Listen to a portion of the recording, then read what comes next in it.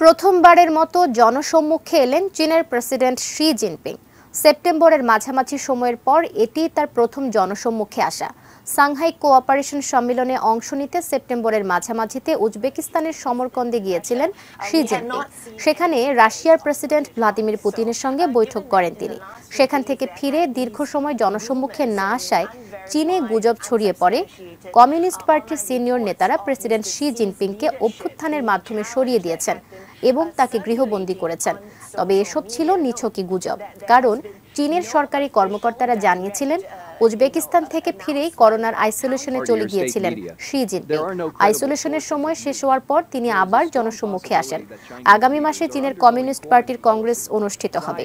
সেখানে টানা তৃতীয়বারের মতো পার্টির নেতা হতে যাচ্ছেন শি জিনপিং। এর মাধ্যমে তার প্রেসিডেন্সির সময়ও বাড়ছে।